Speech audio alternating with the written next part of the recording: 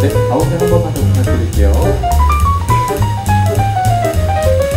그림 콘서트 신청하시는 소감 짧게 한마디만 부탁드리겠습니다.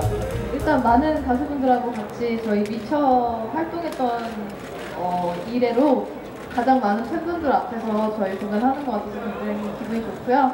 오늘 되게 기억에 남는 공연하고 가고 싶습니다.